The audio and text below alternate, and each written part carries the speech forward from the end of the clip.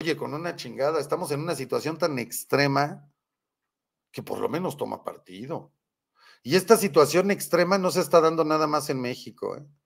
Esta situación extrema la tenemos con muchas cosas y la tenemos con muchas cosas en todo el mundo. Estados Unidos, estamos a unos cuantos días de que se juegue la elección más importante, no nada más para Estados Unidos, para el mundo entero, y no estoy exagerando. Si alguien todavía cree que Barack Hussein Obama era un buen presidente, puta, o sea, ya entiendo entonces por qué aquí nos gobierna Morena. Ocho años de Barack Hussein Obama. Un, musulmán, verdaderamente un terrorista casi. Inició todas las guerras, invadió en todos lados, destruyó la economía de Estados Unidos, empezó a acabar con las libertades, impulsó las agendas que hoy quieren controlar el planeta. Sí, se llama 2030 y todo este desmadre todos los lobbies, todo lo que estamos viviendo hoy. Empiecen por agradecerle a Barack Hussein Obama. Y ahora quieren votar por otra que todavía tiene, si acaso, la mitad de neuronas que tiene Barack Hussein.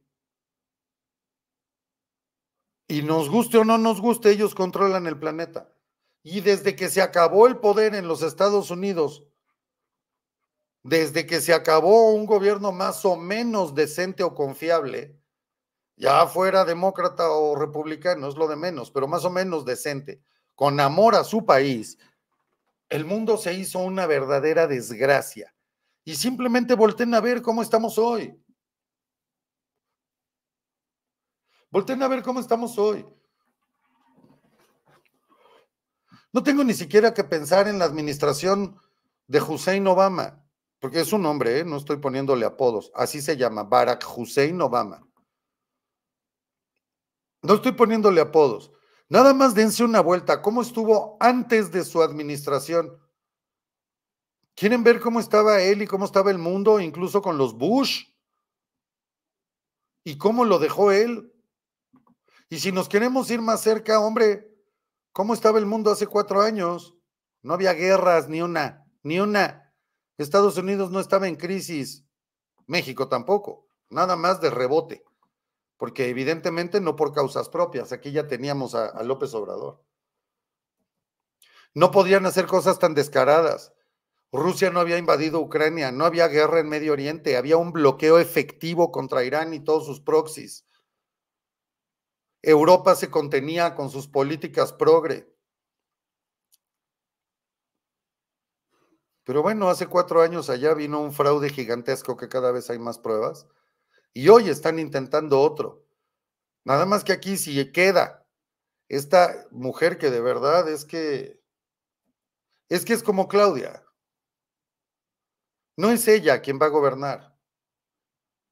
Pero sí es ella quien va a dar la cara, sí es ella a quien todos van a creer que es la que manda, y por supuesto, si es ella a quienes todo mundo aplaude, ¿quiénes aplauden?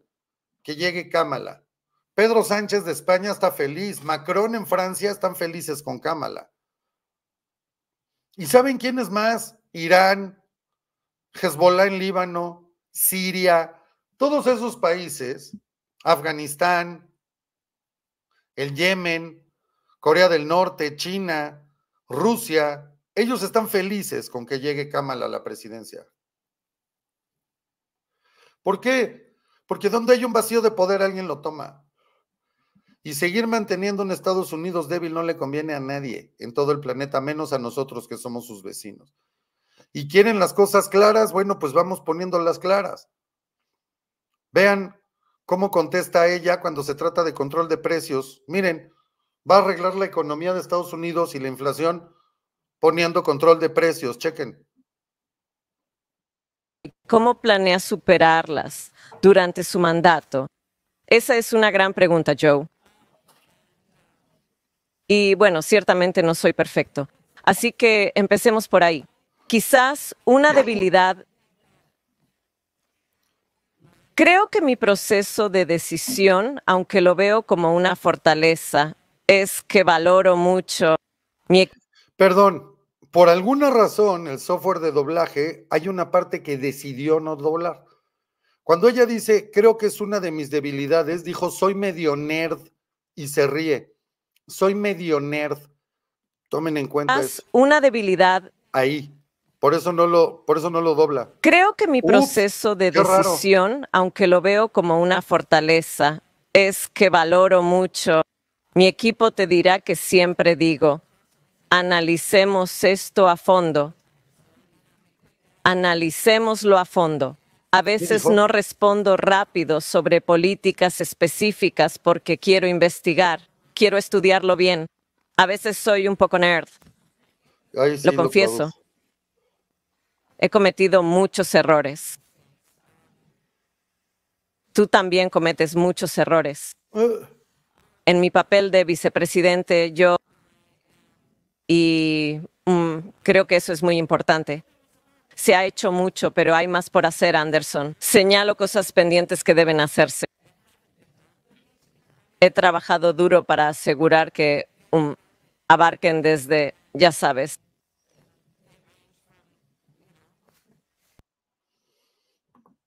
¿De veras ella puede ser presidente de Estados Unidos? ¿Es en serio? Y para la inflación, Kamala, a ver, han subido mucho en los últimos cuatro años. Algunos culpan al expresidente Trump, otros culpan al presidente Biden. ¿Quién crees que tiene razón? ¿Y qué harías para bajar los precios para los estadounidenses? Gracias, Eric. Y tienes toda la razón. Tú lo sabes. Yo lo sé. Creo que la mayoría de los estadounidenses lo saben. El precio de la comida sigue muy alto y debemos abordarlo de varias maneras. Una forma de reducir el costo de vida es abordar los precios de los alimentos. Mi enfoque se basa en mi experiencia como fiscal general contra la especulación.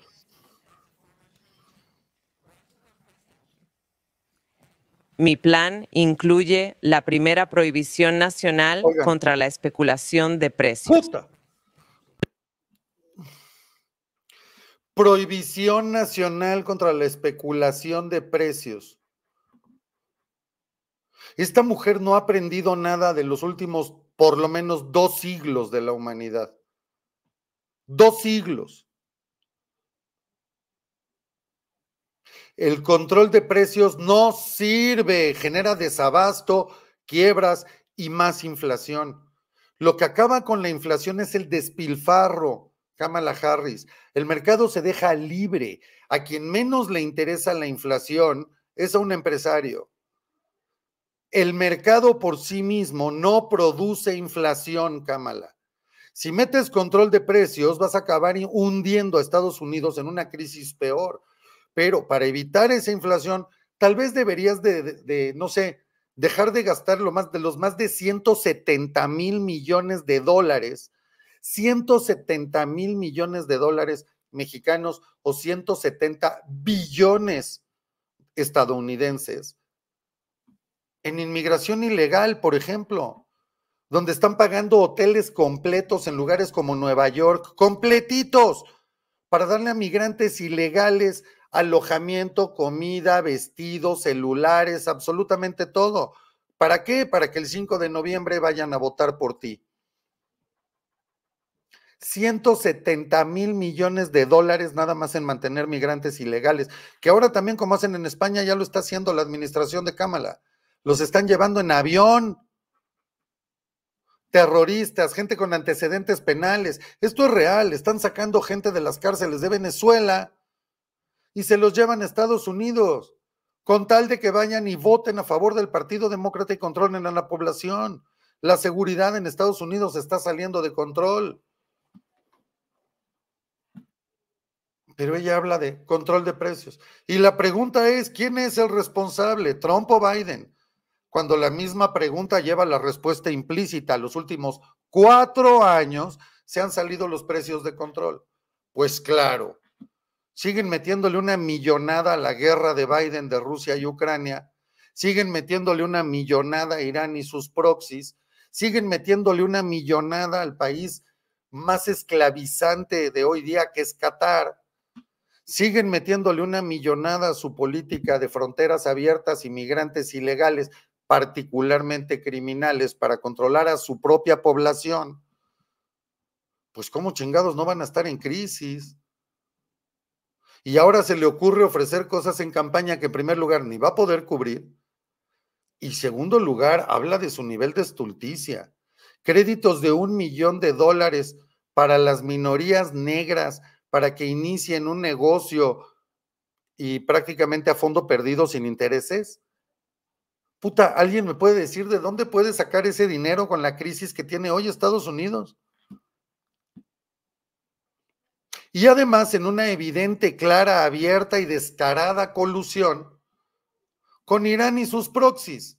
Porque la más preocupada, porque por favor Israel, no, no entres a Ramallah, no entren a Ramallah, no entren a Ramallah. Como, ¿por qué tanta obsesión con no entrar a Ramallah? Y entran y ¿qué pasa? Pues ahí estaba Sinuara, ahí estaban secuestrados, allá había un chingo de armas. Pero casualmente nadie se pregunta por qué Egipto no los recibe, a sus mismos hermanos musulmanes con los que tiene la, la franja de Gaza, tiene una frontera enorme, pero ahí no los dejan entrar. Nadie habla de eso, ¿verdad? La misma Kamala Harris pidiendo que, no, bueno, ya, ya un cese al fuego, ya, ya, ya y muere es que Israel tiene que parar, tiene que parar.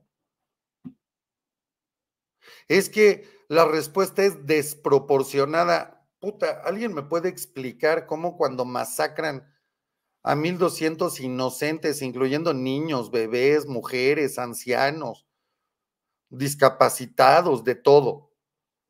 ¿Cuál es la respuesta desproporcionada cuando recibes, ayer, ayer, 100 misiles, más de 100 misiles sobre Israel? cuando llevamos más de 300 militares israelíes muertos, donde todavía hay más de 100 secuestrados. ¿Cuál es la respuesta proporcionada cuando Irán te manda más de 180 misiles en un ratito, balísticos gigantescos? Cuando en un solo día se han recibido hasta 800 misiles, en un solo día. ¿Cuál, cuál es una respuesta proporcionada? ¿Cómo es una respuesta proporcionada? A mí me encantaría que alguien me explique esa frase. Trolgue 698, mil gracias. De verdad, gracias de todo corazón por tu apoyo. Muchas, muchas gracias. De verdad, Trolgue, gracias.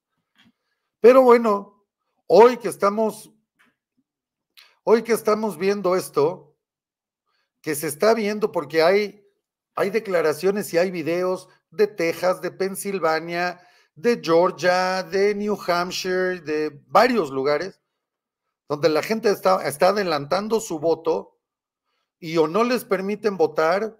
Estos los, los, las tres situaciones más comunes que están sucediendo hasta este momento es lo que les voy a platicar. No puedes votar.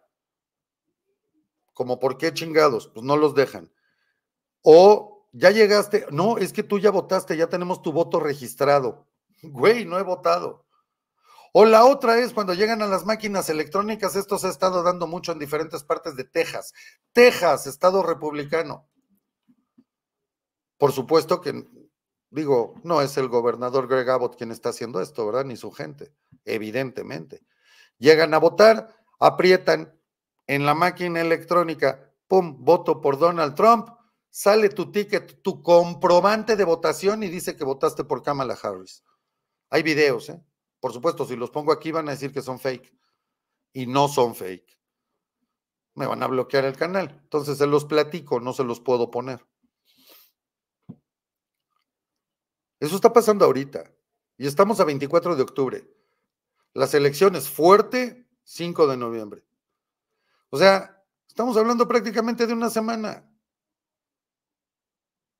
Prácticamente de una semana, digo, porque las elecciones son en martes martes 5 de noviembre. Y el próximo presidente estaría tomando, entrando en funciones el primero de enero. Sí, claro, Carla, pero por supuesto, Carla. Aquí les he puesto información que ningún otro canal, por lo menos en YouTube, se ha atrevido a publicar. Es increíble que tenga tan poquitas vistas. Tenemos un ex agente de la CIA, un ex militar de Estados Unidos que hizo investigaciones, que presentó documentaciones, que las llevó al FBI, dándonos toda la evidencia de cómo hicieron el fraude el pasado y cómo están haciendo este, y cómo están coludidos con Nicolás Maduro, con Cuba, aunque parezca increíble, ahí está la evidencia, Ahí están los nombres. Ahí pusimos y dejamos abierto la dirección del portal de estas personas para que vayas directo y lo investigues tú, no me creas a mí. No me creas a mí, ahí está la investigación. Un Nicolás Maduro que no le queda otra más que ir a pedir chichi a los BRICS y que llega con los BRICS y pues no lo pelan. Digo, un ridículo. Yo sé que Telma puso esta información, parte de esta información ayer, pero de verdad es, es tremendamente vergonzoso ver cómo quedó excluido. Ahí están todos los BRICS. Esto es después de ese video donde Putin le dice, si tú te vas para allá, yo voy para allá.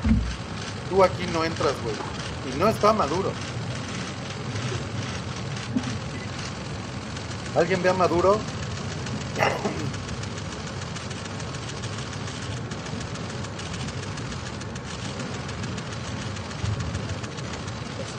Maduro no está simplemente. Los BRICS, estos que siguen soñando con ser el contrapeso de Estados Unidos y la Unión Europea y que están más jodidos que nada, pero bueno, ellos siguen con sus sueños húmedos, ¿verdad? Y seguirán con sus sueños húmedos. Estos mismos BRICS que cuando Maduro se quedó ahí como chacha, tuvo que irle a pedir chichi a Xi Jinping y no tienes ni que entenderlo. O sea, aunque no tuviera audio, nada más de verlo, mira cómo lo batean.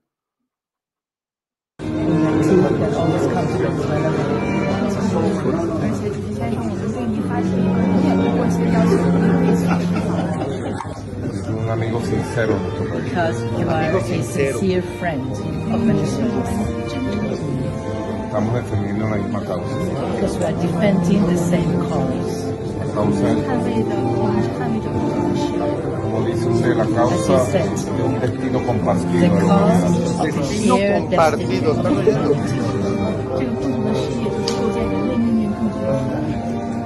Llegado. Somos amigos de hierro. Y vamos a mantenernos siempre en contacto. Sí, sí. Este es como ese típico de, hombre, sí, gracias, ¿eh? nosotros te hablamos. sí, ay, qué lindo. Nosotros te llamamos, ¿eh? Bye, adiós. O sea, ese es el típico. Así le pasó a Madurito. Pero ¿qué hizo el imbécil? Bueno, pues el imbécil de Maduro necesita seguir tratando, pues de darle a tole con el dedo a su pueblo. Entonces salió a declarar. un misil de alta precisión sobre un edificio de apartamentos en Gaza y mata hombres, mujeres y niños. Cada vez que cae un misil sobre Beirut o sobre el sur del Líbano, esos misiles incendian y destruyen el sistema de Naciones Unidas. ¿Dónde está la Corte Internacional de Justicia?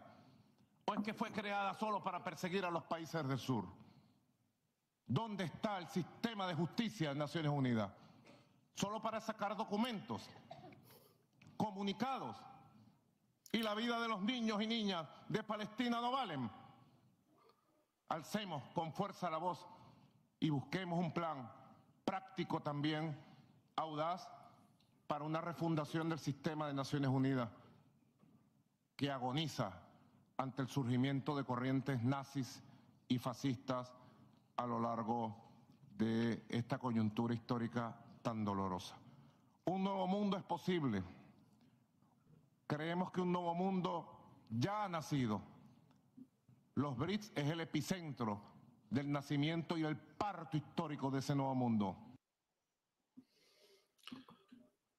Este verdadero criminal, que si alguien parece lleva políticas y además alaba a todos quienes pueden parecer nazis en este mundo del siglo XXI, es él.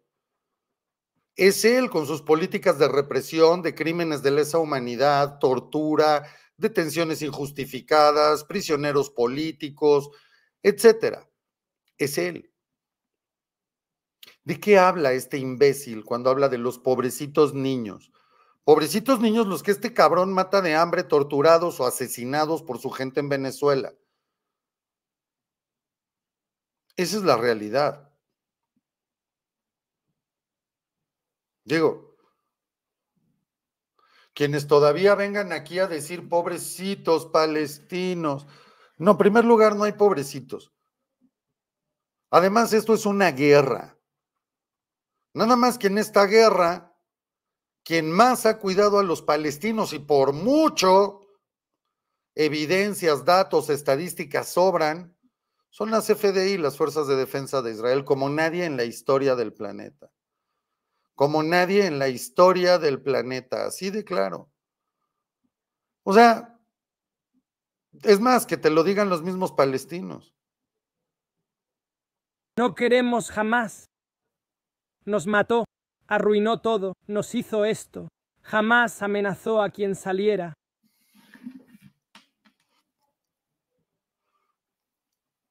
Jamás quiere destruir.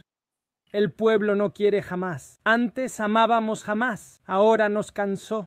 Maldita sea. Sí, maldita sea cuando votaron por ellos. Maldito el, día que lo vimos.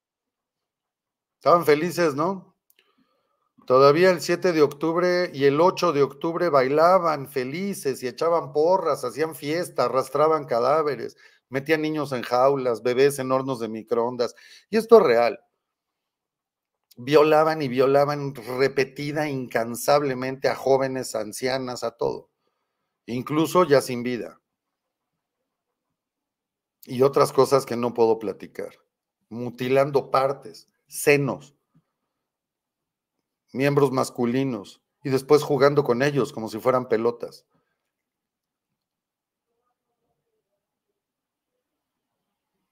Creíamos, los queríamos, hombre, pues a ver si vas cuidando tus amores, papacito.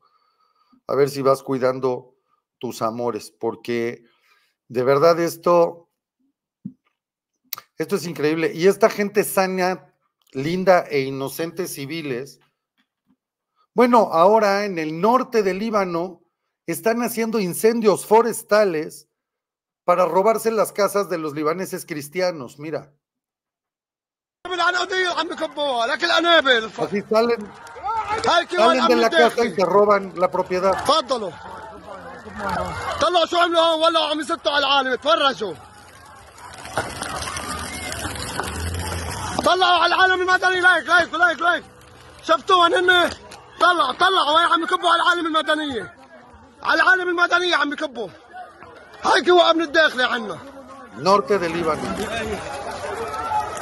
ليك شو عم يعملوا بالعالم ولعوا الدنيا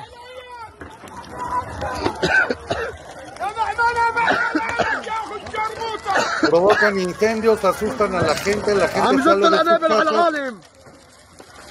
Y ellos العالم se meten.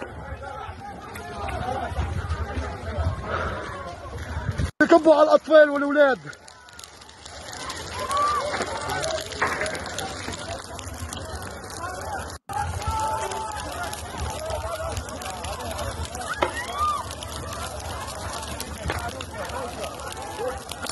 تفضلوا تفضلوا الانابل اللي عم يكبوها ولعت الحرش هون كله سوا طلعوا طلعوا شو عملوا تفرجوا ولعوا الدنيا بالانابل الع- الفسفوريه Esto es al norte del Líbano. ¿Qué sucede al norte del Líbano? Bueno, hay comunidades agrícolas, pero también hay muchas zonas donde la gente, particularmente gente de Beirut, de la capital, tiene propiedades, tiene casas que son casas de recreo. Son para irse de vacaciones y ondas por el estilo. ¿Me explico? Digo, lo sé de muy buena fuente. Sé de muy buena fuente de gente que está tremendamente preocupada porque saben que en cualquier momento se meten a sus propiedades y aparte de la crisis que están viviendo con esta guerra, pues aparte van a acabar perdiendo su propiedad. Estos son los pobrecitos civiles inocentes que tanto le preocupan a Maduro, este, en fin. Eh, ¿Qué dice el senador Kennedy sobre, el, por ejemplo, lo que está pasando en Ucrania? Chequen esto. nunca debió ocurrir. Los rusos intentaron resolverla en términos muy favorables para Ucrania y nosotros. Lo principal que querían era mantener a la OTAN fuera de Ucrania. Las grandes empresas militares quieren añadir países a la OTAN constantemente. ¿Por qué? Porque ese país debe ajustar sus compras a las armas de la OTAN beneficiando a ciertas empresas. En marzo de 2022 comprometimos 113 mil millones de dólares. Con eso podríamos haber dado hogar a casi todos los sin techo del país. Luego otros 24 mil millones. Y ahora Biden pide 60 mil millones más. Pero los mayores gastos vendrán tras la guerra al reconstruir lo destruido. Le preguntaron a McConnell si podíamos gastar 113 mil millones en Ucrania. Me dijo, no te preocupes, no va a Ucrania va a fabricantes de defensa estadounidenses. Así admitió que es lavado de dinero. ¿Y quién crees que es dueño de esas empresas? BlackRock. Tim Scott, en el debate republicano, dijo, no es un regalo para Ucrania, es un préstamo. Levanten la mano si creen que ese préstamo se pagará. Claro que no. Entonces, ¿por qué lo llaman préstamo? porque así pueden imponer condiciones. ¿Y qué condiciones imponemos? Primero, un programa de austeridad extrema. Si eres pobre en Ucrania, lo serás para siempre. Segundo, Ucrania debe vender sus activos estatales a multinacionales, incluyendo tierras agrícolas. En Ucrania, Mil años de guerra por esa tierra. Es la tierra extranjera más rica del mundo. Es el granero de Europa. Casi 500 mil niños. Niños ucranianos murieron por esa tierra. Seguro no sabían de esta condición del préstamo. Ya han vendido el 30%. Compraron DuPont, Cargill y Monsanto. ¿Quién crees que es dueño de esas empresas? Sí, BlackRock. En diciembre Biden dio el contrato para reconstruir. ¿Y quién crees que lo consiguió? BlackRock. Lo hacen frente a nuestros ojos. No les importa que sepamos. Saben que pueden. ¿Y cómo lo saben? Porque tienen una estrategia, una vieja estrategia, mantenernos en guerra nos mantienen odiándonos entre nosotros, dividen a todos, partidos, razas y más.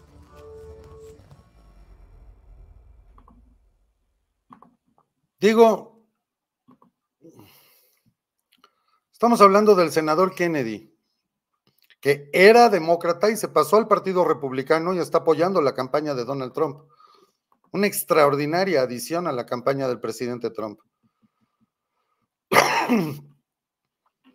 Esto lo he venido diciendo desde que iniciaba, no la guerra, antes, cuando empezaban las amenazas de la guerra, por las declaraciones de Biden, esto era obvio, y aquí lo dije.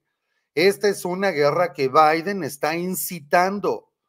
Él está incitando, está provocando una guerra entre Rusia y Ucrania, y muchísima gente me dijo, estás loco. No defiendas a un dictador como Putin. Yo no estoy defendiendo a Putin. Estoy poniendo los hechos. Hoy, afortunadamente, el senador Kennedy, esta declaración la dio ayer. Afortunadamente, el senador Kennedy ya sale a las cámaras y lo dice abiertamente. Pero está, ahí está la realidad, es que es bien sencillo, es como tantas veces se ha dicho, hay que seguir la ruta del dinero. ¿Por qué Estados Unidos ahorita, el Estados Unidos de Biden, de Kamala Harris, están tan preocupados por frenar a Israel? Primero por dos cuestiones. No quieren que Israel ataque ahorita a Irán, porque están a menos de dos semanas de la elección. Y si el ataque se hace y se hace un ataque fuerte como debe ser, porque definitivamente yo estoy del lado de aquellos que tienen que ser un ataque fuerte, no contra civiles, no contra instalaciones petroleras, pero sí contra la capacidad militar de Irán, destruirla acabar con las cabezas iraníes, con los líderes de este califato que tienen ahí, de esta dictadura islámica extremista. Y por supuesto, acabar con las instalaciones nucleares de Irán. Claro, tienen una idea del peligro que representa Irán con arma nuclear cuando hoy no estamos seguros si ya la tienen o no. ¿Tienen ustedes y una idea lo que implica Irán con una bomba atómica? ¿Con este gobierno? Por supuesto que Israel debe acabar. ¿Puede hacerlo? Claro que puede. Tiene tecnología muy superior Israel a Irán de calle. Pero por supuesto, ni Biden ni Kamala quieren hacerlo ahorita. Primero, hay demasiados negocios con Irán y con Qatar, particularmente, que eso implica Líbano, que eso implica Siria, que eso implica todos los proxies de Irán, donde casualmente las fuerzas de defensa de Israel, con todos los arsenales que están encontrando en el sur del Líbano particularmente, encuentran armas. A ver, explíqueme a alguien cómo Hezbollah tiene armas de Estados Unidos, de España, de Italia, de Francia. ¿Cómo? ¿De dónde salieron? ¿Quién se las dio? Entonces, ¿qué le interesa a Estados Unidos ahorita? Espérate, puta, no ataques antes. Por supuesto que Benjamín Netanyahu, primer, primer ministro de Israel, claro que Bibi lo que quiere es que gane Trump y yo y todos los que por lo menos tenemos tres neuronas funcionales. Porque de otra manera, olvídenlo. El mundo se va, de verdad, se va a un oscurantismo del carajo y a una esclavitud como no hemos visto en siglos. Por supuesto que si Israel decide atacar a Irán antes de las elecciones, eso ayudaría a Trump. Pero por otro lado, también está el punto de si se hace, van a decir que entonces Israel atacó para apoyar la campaña de Trump y no nadie quiere estar en medio de ese de esos dimes y diretes. Entonces, ¿qué es lo que hay que hacer ahorita? No lo sé. A mí me parece que sí o sí, de todas maneras, se debería atacar ya. A mí. Pero por supuesto, yo no tengo ni remotamente la, el conocimiento, ni la inteligencia, ni la información que tienen todos ellos, ¿no? Confío plenamente en que el gobierno de Israel estará haciendo lo más correcto, estará haciendo lo más adecuado, lo estratégicamente más importante. Pero hoy con todo este tipo de declaraciones, la verdad es que, eh, toda la información, insisto, que aquí se dio y que mucha gente decía, no hombre, pero ¿cómo? Estás exagerando, Mark. Eso no es cierto, no defiendas me acuerdo cómo decían, no defiendas a un criminal que la chingada, o sea, no, no se trata de defender a un criminal. Queridos amigos, no se trata de defender a un criminal, se trata simplemente de poner la información como es. Y no saben de verdad qué gusto me da que el senador Kennedy por fin pueda hablar claramente de todo esto.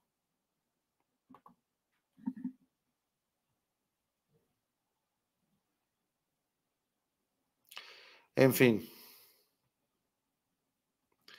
Eh, estoy, quiero ahorita, pero bueno, me parece que no va a dar tiempo, pero estoy ahorita con toda la intención de poder poner otro video con ustedes aquí, este, otra declaración tremendamente fuerte del senador Kennedy. Este, una, perdón, estoy al mismo tiempo aquí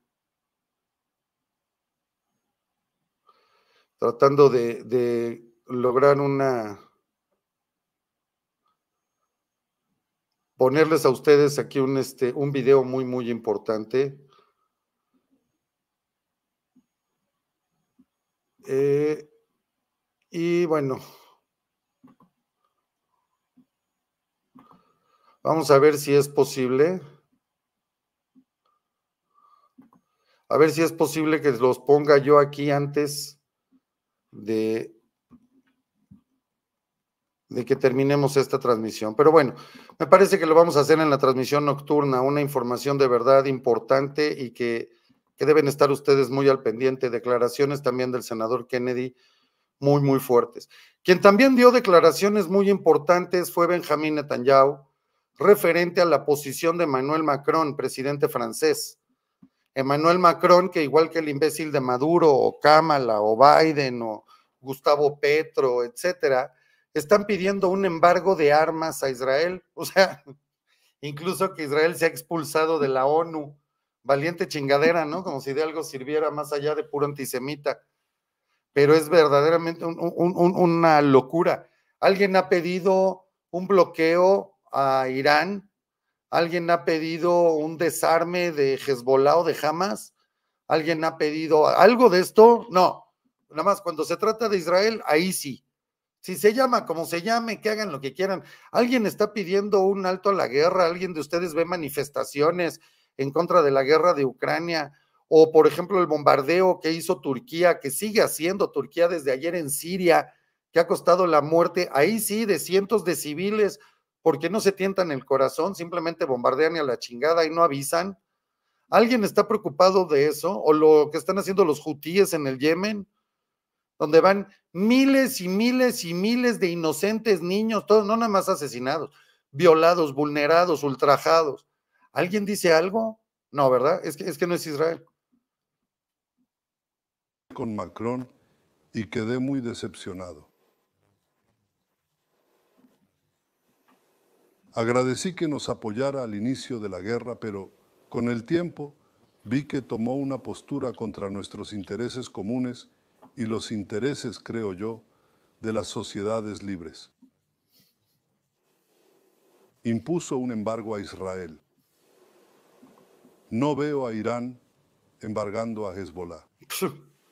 No veo a Irán embargando a Hamas o a los hutíes. Y aún así, el presidente francés, increíblemente, embarga a Israel. ¿Por qué?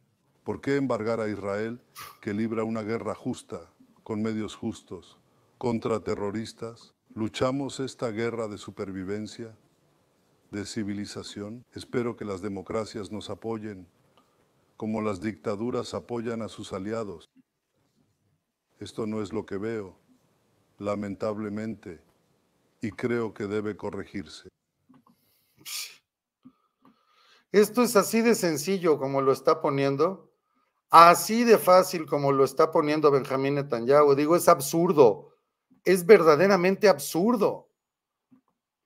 ¿Qué estamos viendo? Vil antisemitismo.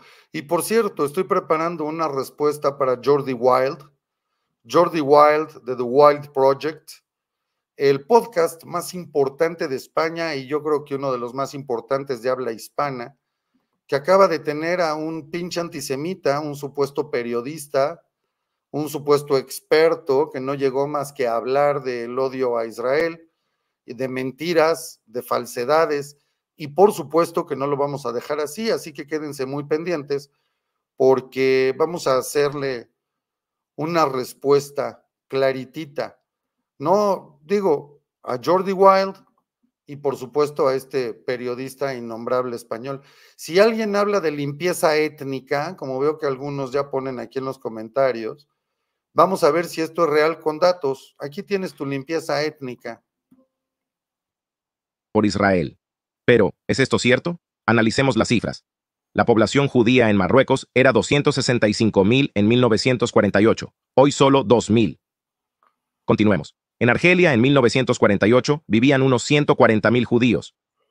Hoy solo unos 50. En Túnez, en 1948, vivían unos 150.000 judíos. Hoy solo unos 50.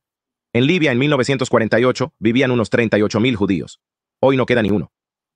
En Egipto, en 1948, vivían unos 75.000 judíos. Hoy solo unos 40. En Yemen, en 1948, vivían unos 55.000 judíos. Hoy solo unos 50. Unos 150.000 judíos vivían en Irak en 1948. Hoy solo 7. En Siria en 1948 vivían unos 40.000 judíos. Hoy ni un solo judío. Unos 20.000 judíos vivían en Líbano en 1948. Hoy solo unos 100. Y ahora, fíjate en esto. ¿Cuántos árabes vivían en Israel en 1948? Unos 156.000. ¿Y cuántos árabes viven allí hoy? 2.178.000. 2 millones 178. Más de 2 millones. La población judía en países árabes bajó un 99.83%. Casi el 100%. Y la población árabe aumentó un 1.296.15%. Según estos datos, ¿quién limpia étnicamente a quién? ¿Alguien me puede decir dónde está la limpieza étnica? ¿Dónde está el genocidio? ¿Alguien me puede explicar cuando la población de judíos en todo el mundo árabe se redujo el 99.83%, o sea, prácticamente no queda nadie? Pero la población árabe en Israel se incrementó en 1.296.15%. ¿Dónde está el genocidio? ¿Alguien me puede explicar cómo viven más de dos millones de árabes en Israel y que es el lugar de por lo menos todo el mundo árabe, todo el mundo islámico, todo el Medio Oriente, todo África, todo, en fin, el país donde tienen plenitud de derechos, absoluta libertad, los mejores servicios sociales, libertad de expresión, de todo, el único es Israel. ¿Alguien me puede decir dónde está la limpieza étnica? ¿Dónde está el genocidio? Porque es que de verdad ellos mismos, esta bola de antisemitas, hablan con, con argumentos que no tienen ningún sustento. Te dicen, Israel está masacrando porque tiene una tecnología de poca madre. Señores, si Israel quisiera acabar con Gaza, hubiera acabado desde el mismo 8 de octubre en cinco minutos. Y habría acabado con Hezbollah en el Líbano de igual manera y con Irán. Y se acabó el problema si nos valieran madre los civiles. ¿A cuenta de qué creen que se está arriesgando a todos los jóvenes israelíes? Porque a diferencia de otros, las fuerzas de defensa israelí, los militares en Israel, son civiles, son hijos de familia, son muchachos estudiantes, todos con carrera universitaria, muchos de ellos con empresas, con maestrías, con doctorados, que están ahí simplemente porque quieren defender su tierra. No es gente ignorante, gente que está ahí porque no tiene dónde caerse muerta y en el ejército por lo menos me dan de comer. No, es todo lo contrario. ¿Por qué creen que esa gente está arriesgando su vida teniendo que entrar en una guerra en ciudad donde tienes que ir callejón por callejón, casa por casa, sótano por sótano, azotea por azotea, arriesgando tu vida, que es la peor y más peligrosa de todas las guerras que puede haber? Si los civiles nos valieran madre, si de verdad quisieran hacer un genocidio. Hombre, pues más fácil, bombardeas todo y a la chingada, se acabó el problema. Si arriesgas a tu propia juventud, si se están arriesgando a los hijos, es precisamente porque hay moral, porque hay ética, porque hay respeto y valor a la vida. Porque otra vez los únicos corredores humanitarios, apoyo humanitario, lo único que llega de servicios médicos, vacunas, todo, es de, parte de Israel, de nadie más. No, no llegan de Egipto, no están llegando de Siria, no están llegando de Líbano, no llegan de Jordania. No, no, no. Llegan de Israel. ¿Para qué? Para que jamás, mira, se robe la comida y todavía esta, esto que vas a ver aquí es comida que mandó Israel para que los mismos de Hezbollah agarren a palos a su propia gente y no les den nada. Tengo que quitar la música por derechos. La gente pidiendo comida de la que ya mandó Israel, que no ha dejado de mandar, para que estos malditos no les den y todavía los agarran a palos, como pueden ver ahí en la parte más atrás de la imagen.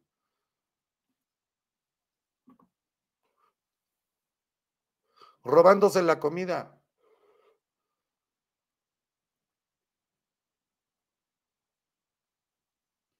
Pero, ¿qué puedes hacer cuando ellos mismos declaran abiertamente? Cuando ellos mismos y sus líderes declaran que sí, que claro, por supuesto que necesitan que mueran niños, mujeres, jóvenes, ancianos, necesitan la sangre de su pueblo.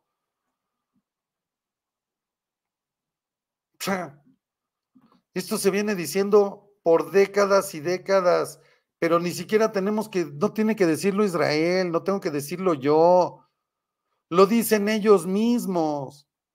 Ellos mismos lo dicen, ellos te dicen claramente que aman más la muerte que la vida en Israel es al revés. Miren este mensaje de amor judíos rencorosos.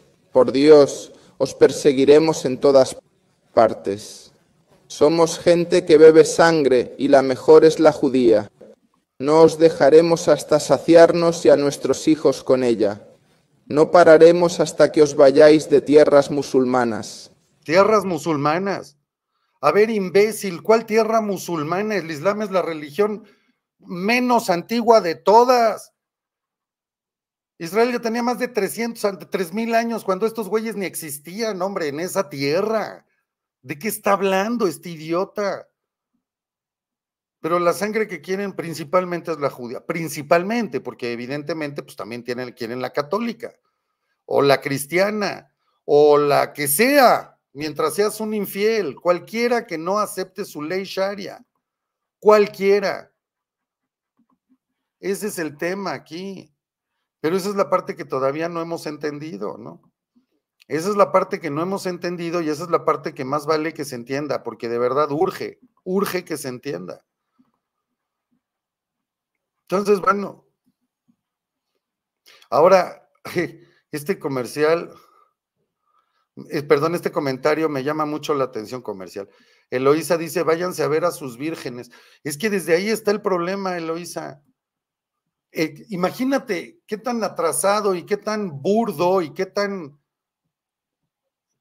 jodido está el concepto de la religión islámica, que su idea de paraíso es llegar a un lugar donde tienes 72 mujeres vírgenes a tus órdenes, son tus esclavas sexuales, que cada día vuelven, eso dice el Corán,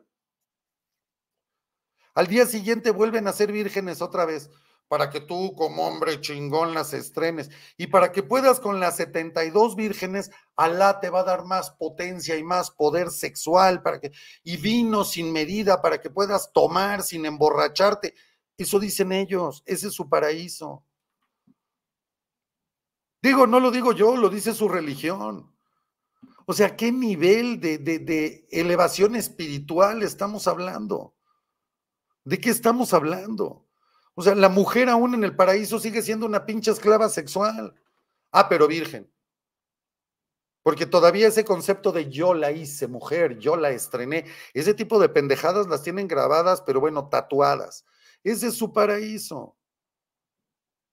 Entonces, ¿cómo, cómo puedes creer que una religión que te da eso, ese es tu concepto de ser un buen musulmán para irte a ese paraíso? Puta, ¿cómo puedes creer que eso tiene algo, algo de, elevación espiritual, de evolución humana, de paz, de amor, de... Cuando el mismo Mahoma, él, él escribe que él degolló a más de 200 judíos y para el Islam todo lo que hizo Mohammed, Mahoma, como se le dice en español, todo lo que hizo Mohammed es perfecto, él nunca se equivocó. Eso quiere decir que entonces yo también debo degollar gente. ¿No? Y está bien, porque si eso hizo Mohamed y está bien, pues entonces yo lo tengo que hacer. Y me van a tocar mis 72 vírgenes, bien chingón. Y me voy a poder ir allá. Ahora, lo increíble del caso es que los, estos actos, y quiero que vean esto, esto es tremendo, miren. ¿La casa de lado también es de ustedes? No, nada más esta. Sí. Digo, perdón, esto no es Gaza, esto no es Líbano, esto no es Siria. Buenos días, esto es en Acámbaro, Guanajuato. Coche bomba. Como pueden ver, así es despertar hoy 24 de octubre en Acámbaro, Guanajuato. Yo no sé cuál es la seguridad que tenemos. No veo por aquí a la alcaldesa presente. Mientras que aquí en policía hay heridos.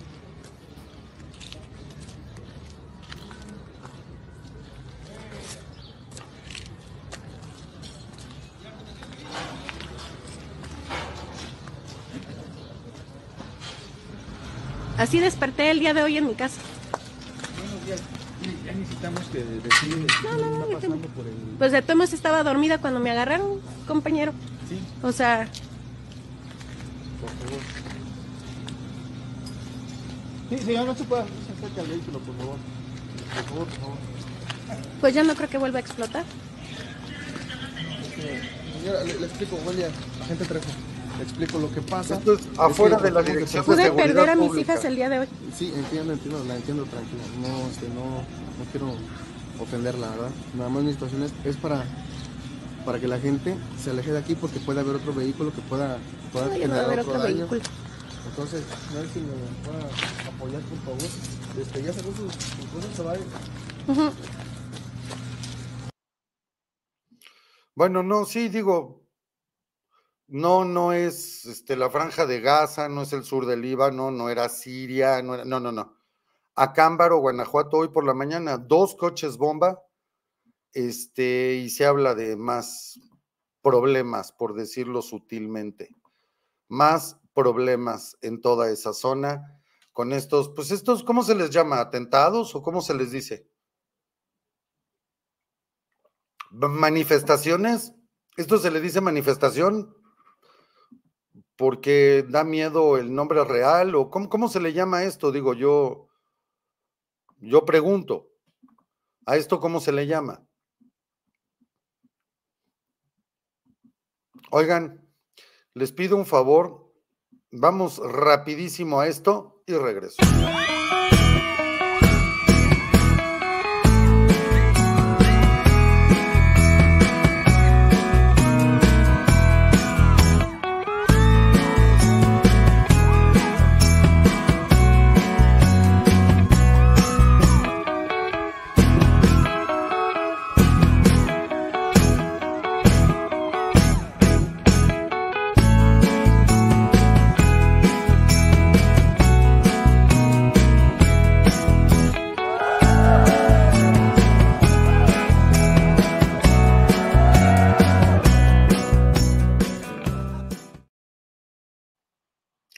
Listo. Queridos amigos, estoy preparando unos videos, pero me parece que los vamos a pasar mejor en nuestra transmisión nocturna. Ya por la hora, ya se nos alargó demasiado esta transmisión, con unas declaraciones tremendamente fuertes del senador Kennedy, eh, advertencias del senador Kennedy. Eh, Isael Jaramillo, muchísimas gracias. Muchas gracias por tu, por tu comentario. Eh, Isael, muchísimas gracias. Eh, ¿Qué les parece si entonces hacemos una pausa y nos vemos aquí a las nueve de la noche, ya que tengamos esta información y mucha más? Por supuesto, toda esta segunda parte de la emisión de Hablando Claro, toda esta donde hablamos de Israel, de Estados Unidos, hablamos de Rusia, hablamos de Ucrania, en fin, vamos a separarla para que la tengan como un programa aparte. Por supuesto, van a encontrar en las transmisiones en vivo toda esta transmisión completa, quien la quiera ver en repetición, pero esa parte la vamos a separar y tenemos una lista de distribución en YouTube que dice Israel. Ahí van a encontrar todo esto. Vamos a empezar a separar estas medias partes de programa con información internacional para que si es esto lo que a ustedes les gusta ver, pues adelante les sea más fácil. Y quiero aprovechar, quiero preguntarles, quiero preguntarles si ustedes están de acuerdo en que tengamos una emisión donde hablemos estrictamente de noticias internacionales porque hacer programas donde hablamos de México y hablamos de información internacional se nos alargan demasiado.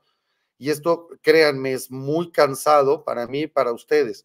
¿Qué les parece si están de acuerdo que hagamos una emisión aparte donde hablemos de noticias internacionales y obviamente tengamos nuestras emisiones de lo que sucede en México? Coméntenme, por favor, antes de despedirnos, ¿qué les parece si hacemos eso?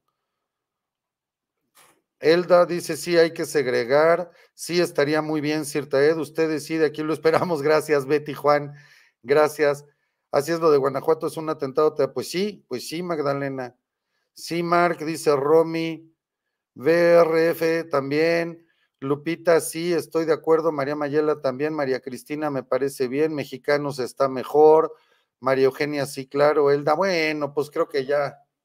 Hombre, Luz María Berumen, yo opino que sí. Este, Francisco Bonilla, excelente. Me parece buena idea, Jesucita, Beauty Marisol, sí, de acuerdo. Santiago Dromer, sí, Mark.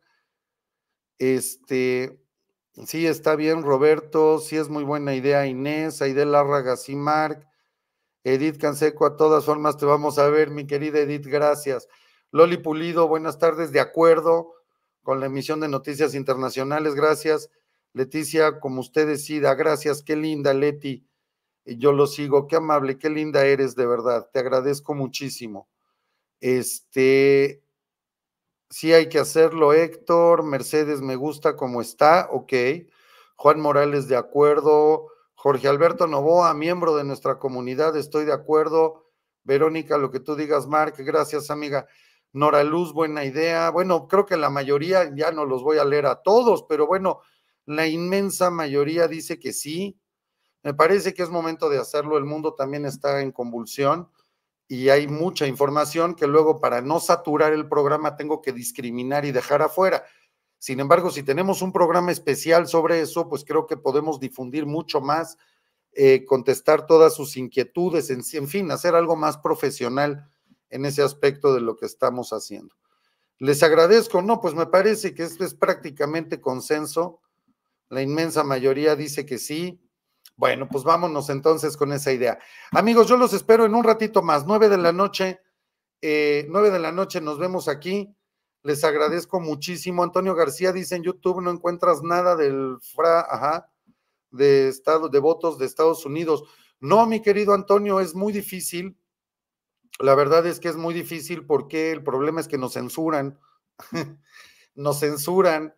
Este, yo ya lo he intentado y me han castigado. Entonces, una de las razones, hoy reabrimos con un número nuevo, o bueno, abrimos un canal nuevo de Telegram hoy. Ya saben que Telegram es tipo WhatsApp, pero con la ventaja, con la enorme ventaja de que eh, es totalmente seguro.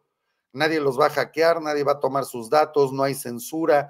Entonces ahí a partir del día de mañana vamos a empezar a compartir información más delicada muchos, muchos van a hacer videos, documentos y otras cosas para que ustedes estén informados. Por ejemplo, este tipo de información, Antonio, que no puedo transmitir aquí, pues la vamos a difundir a través de Telegram. Yo les pido que busquen el canal, se llama Hablando Claro, en Telegram nos encuentran. Hemos estado compartiendo los enlaces a través de los grupos de WhatsApp.